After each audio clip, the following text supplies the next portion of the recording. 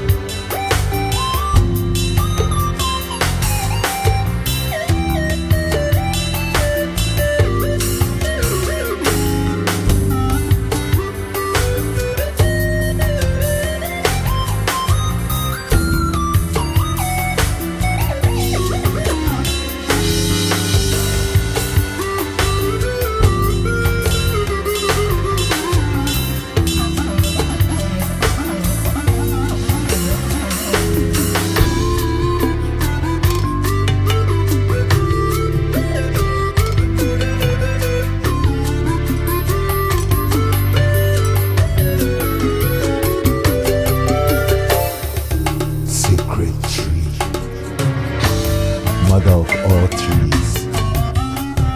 She protects and provides for all. When her children are sick, natural herbs provided by her for their well-being and always available to heal the wounds of the confused and broken-hearted.